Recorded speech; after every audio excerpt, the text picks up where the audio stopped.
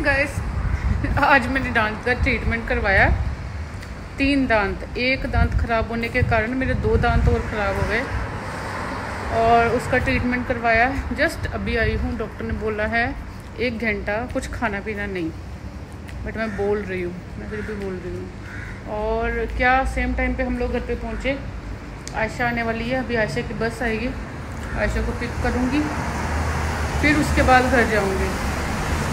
Doctor इतनी ज़्यादा अच्छी मिल गई है ना मतलब अच्छे से ये जो हॉस्पिटल में मैं जाती हूँ ना तो डॉक्टर बहुत अच्छी है वहाँ पे। देखो, मैं फिर भी उसने मुझे बोला था, बोलना नहीं। मैं फिर भी बोलना बंद नहीं कर रही हूँ। अभी आयशा को पिक करूँगी, ये कॉटन रखा है मुँह में। प्रेस करने के लिए बोला उसने कि प्रेस करके रखो। घर जाऊँगी, फिर खाना वाना बनाऊँगी। आज कुछ भी नहीं बनाया हुआ। आयशा का पास्ता पड़ा है या तो वो पास्ता खा लेगी। और सही टाइम पे हम लोग आए हैं, उसने पूरा टाइम सही लगा के और मुझे फ्री कर दिया कि हम लोग घर पे आ सके।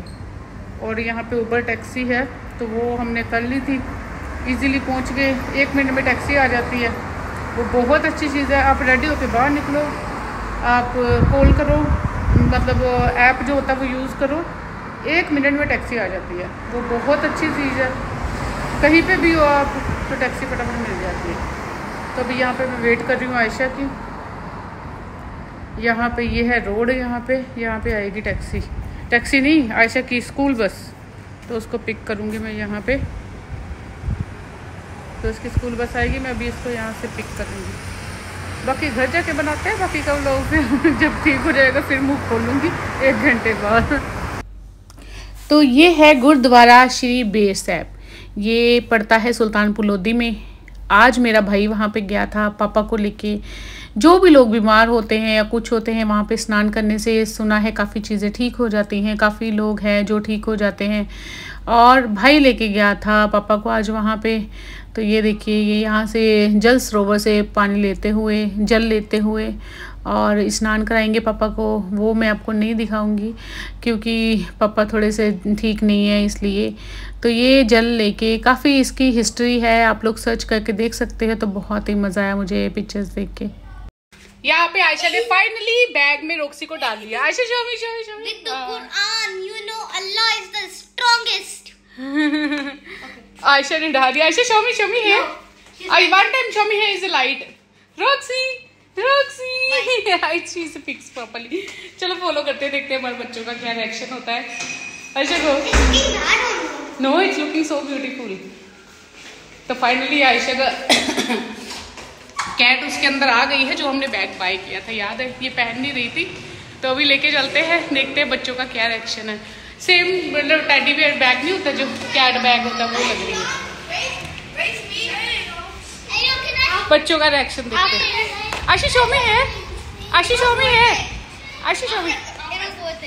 Roxy, Roxy, Roxy. Oh, oh, oh, oh, oh, oh, she will open. No, Roxy, no, no, no, no. Happy, happy, happy. Roxy. Oh, can I try to catch you?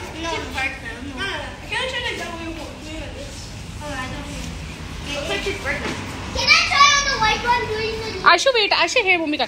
Ashu, I will take her hand. Where is her hand? One. Oh. She's angry She's hell. getting angry. Wait. She will run. Wait, I know how to catch her. Wait, wait. I'm holding her Carry arm. her. No, wait, do. Should do. Let do. carry her. I'll, I'll hold. Wait. तो finally Roxy निकल के आ गई उससे बाहर Roxy नहीं टिक रही Roxy रो रही चीख कर रही थी कितना ज़्यादा और उसको फाइनली निकालना पड़ा निकालना है क्या पड़ा आधी तो वो खुद ही निकल गई उसमें से बैग में से बाहर ये देखिए यहाँ बैठी हुई रोक्सी व्हाट हैपन ओ डी मेरा बच्चा। हम्म, अभी उसे नींद आ रही है सो जाएगी। आपको एक चीज़ दिखानी है ये देखिए मैंने एक ब्रेसलेट बाय किया था। ये टीमू से मैंने टीमू है टैमू है पता नहीं क्या है टीमू ही बोलते टीमू बोलते हाँ। टीमू से मैंने ये बाय किया था। तो ब्रेसलेट इसमें सारे स्टोन है है ना? मतलब सारे हैं मोती है तो ये कहते हैं कि हेल्थ के लिए बहुत अच्छा होता है। तो उसमें उन्होंने इतने प्यारे से मतलब बॉक्स में रखा था, इतना अच्छा लग रहा था तो मैंने उसे बाई किया। जब बाई किया है तो उसे हाथ में पहना ऐसे करके, और ये हल्का सा मुझे टाइट है, ये देखिए, ये बड़ा प्यारा सा। कहते हैं कि हेल्थ के लिए इसे पहन के रखना बहुत अच्छा होता है कि हेल्थ अच्छी रहती है इसके बाद। मगर थोड़ा सा ऐसे टाइट है, मुझे ना जैसे बाजू में कुछ भी चीज़, जैसे मेरे पास एक वॉच भी थी तो निकालूँगा इसे। एक हैंड से। तो मेरे पास एक वॉच भी थी तो वो वॉच को अगर पहनते तो उसका उसका ना जो आ, वो होता ना स्टेप टाइप की स्टेप नहीं कहते यार उसे वो रबर टाइप का होता है अंदर उसके लास्टिक हाँ लास्टिक टाइप का होता है। तो वो भी मुझे ऐसे टाइट मैंने करवा ली गलती से तो बाद में मुझे ऐसे लगे मुझे इरिटेशन होती है जैसे कुछ चीज़ टाइट टाइट पहन लो ना चाहे कपड़े हो चाहे जूता हो चाहे ब्रेसलेट हो। तो फिर ये भी अभी यह आ गया। तो हल्का सा टाइट है बट कहते हैं ऐसे हेल्थ आपको किसी को पता होगा तो बताना ज़रूर। ये सारे तरह के अलग अलग कलर के मोती पहनने से कुछ हेल्थ पे इशू मतलब रिलैक्सेशन होती है। कुछ ऐसे होता है बेनिफिट होता है इसका कि कुछ पहनने का। तो मैंने मंगवा लिया है तो अभी पहन के देखते हैं इसको कैसे है। तो ये भी पता चलेगा, फिर मैं आपको बताऊँगी, फिर आप भी बाय करना। बट इसकी सबसे अजीब सी चीज़ मुझे ये लगी कि इतना कॉस्टली रखे तो उसमें लास्टिक तो फाइनली मैंने आज दांत का ट्रीटमेंट करवा लिया है, आपको बताया था, वो निकाल दिया है, दांत में से कॉटन रख के दिया था कि कॉटन रखना है वन आवर तक तो वो अभी निकाल लिया। तो मैं बोल सकती हूँ सही से, मैंने आज कितने दिन बाद, देर बाद मैंने खाना खाया है, सही से पता मैंने चबा के खाया। यार वो दांतों के बिना बहुत ही ज़्यादा मुश्किल चीज़ें हो जाती हैं। अगर आप उसको हैंडल नहीं करते तो बहुत ही प्रॉब्लम क्रिएट करते हैं। तो अभी मुझे अच्छा एक डॉक्टर मिल गया था पैसे तो थोड़े से ज़्यादा लग गए, यार यहाँ पे पे आपको पता है कि ज़्यादा होता है इंश्योरेंस हमारा है नहीं। तो मैंने सोचा, नहीं यार, मेरे से नहीं बर्दाश्त हो रहा तो करवाना ये बहुत ज़्यादा ज़रूरी है। तो करवा के आगे कॉटन निकाल दिया। यहाँ पे दो कैप वो इकट्ठी थी, वो निकल गई थी, वो फिक्स करवाई और एक दांत की वो फिलिंग करवाई बस। और आपको पता है, उसके साथ साथ दूसरा एक दांत भी खराब होना शुरू हो गया था तो उसने फिलिंग कर दी तो बिल्कुल अभी ठीक है। अब मुझे आज बहुत ज़्यादा सुकून है दिल से कि मैं कुछ खाना खा सकती हूँ। तो अगर आपके पेरेंट्स के भी या किसी के भी कोई दांत में कुछ प्रॉब्लम होता है तो भाई उसको सबसे पहले ठीक करवाओ, अपने भी दांतों को करवाओ।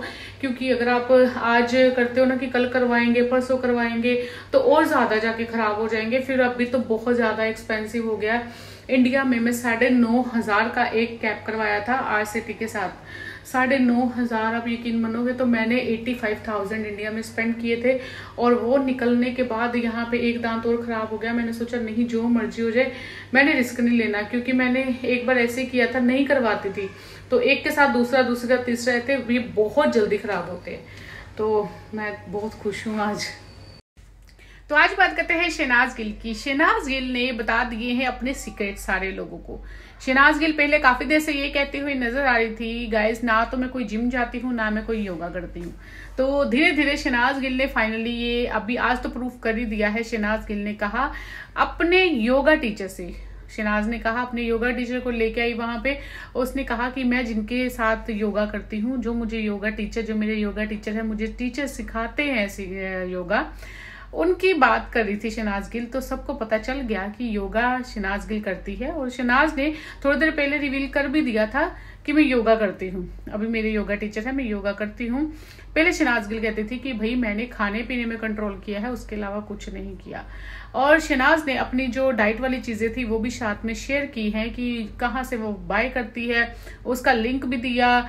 और काफ़ी चीज़ें जो है, शनाज ने कहा कि, मैं यूज़ करती हूँ, जिसके कारण मेरा वेट भी लूज हुआ है। बट मैं आपको साफ़ एक चीज़ बताऊँगी कि वेट लूज मैं भी कर रही हूँ साथ में और काफ़ी तरीके होते हैं पर सिर्फ़ पिल्स खा के वेट लूज नहीं करना है ये काफ़ी लोगों को आ, मन में होता है। और कॉफ़ी भी बहुत सारे प्रोडक्ट्स भी होते हैं जो लोग यूज़ करते हैं सोचते हैं प्रोडक्ट्स यूज़ करके हम लोग वेट लूज कर लेंगे। शहनाज गिल एक चीज़ की एड ज़रूर दे रही है बट वो इम्यूनिटी बूस्ट चीज़ें हैं जो शनाज खा के और मैं भी खा रही हूँ उसके साथ में काफ़ी चीज़ें तो जो खा के वेट लूज करते हैं वेट लूज सिर्फ़ उससे नहीं होता, वो सिर्फ़ इम्यूनिटी बूस्ट है कि अपनी एनर्जी बनाने के लिए। जैसे कोविड आया था, तभी भी लोग इम्यूनिटी बूस्ट चीज़ें ले रहे थे मेडिसिन ले रहे थे। तो योगा या एक्सरसाइज आपको कुछ तो करना ही पड़ेगा अगर आपको वेट लूज करना है तो साथ में। तो अगर आपको वीडियो अच्छी लगी तो लाइक शेयर कमेंट ज़रूर कीजिएगा। बॉडी को हिलाए बिना आप वेट नहीं लूज कर सकते। तो ये सच्चाई है, मैं आपको सही से बोल रही हूँ, क्योंकि सही बात है, ये ऐसे ही इसको तो आप अकेले डाइट करोगे तो भी आपका वेट लूज नहीं होगा। आप अकेले एक्सरसाइज करोगे और खाई जाओगे, फिर भी वेट लूज नहीं होगा। आपको दोनों चीज़ें ही करनी पड़ेंगी। थोड़ी डाइट में भी ध्यान देना पड़ेगा और अपने वेट लूज के लिए एक्सरसाइज या योगा कुछ करना पड़ेगा। शिनाज ने तो अपने सीक्रेट बता दिए हैं और हम बहुत खुश हैं। शिनाज गिल का वेट बहुत ज़्यादा अच्छे से लूज हुआ है और आप भी वेट लूज करना चाहते हैं। शिनाज की टिप्स को थोड़ा सा फॉलो तो कीजिए बट थोड़ी सी राय हमसे भी ले लीजिए। तो बने रहिए सिमन के साथ फॉर मोर अपडेट्स वीडियो को लाइक शेयर कमेंट ज़रूर कीजिए। व्लॉग अच्छा लगा हो तो लाइक कीजिएगा। शिनाज के फ़ैन हैं तो वीडियो को लाइक शेयर ज़रूर कीजिएगा।